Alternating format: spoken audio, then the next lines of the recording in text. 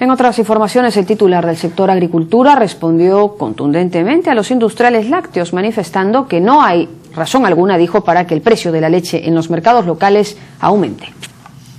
El ministro de Agricultura indicó que los costos de la industria láctea no se han elevado y por lo tanto no existe ninguna razón para que las amas de casa deban pagar más. Ello tras la queja de los industriales, quienes advirtieron de una posible subida de la leche en los mercados por el incremento de la sobretasa a la leche en polvo importada que se usa como insumo de la leche evaporada. Y el precio, si ustedes lo fijan, lo miran tanto en dólares como en soles, hoy día el precio por tonelada está por debajo del promedio de lo que fue el año pasado.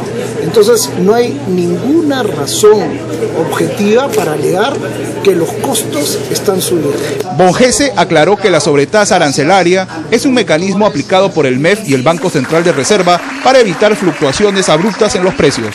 Si el precio de la leche en el mercado internacional es así, decreciente, la sobretasa lo que es es un mecanismo para estabilizar el precio justamente para prevenir estas grandes fluctuaciones. En este momento de caída abrupta, lo que hace es se activa este mecanismo automáticamente. El ministro de Agricultura dio estas declaraciones tras anunciar la feria Expo Cacao Tocache 2012, que se realizará del 8 al 10 de noviembre en la región San Martín.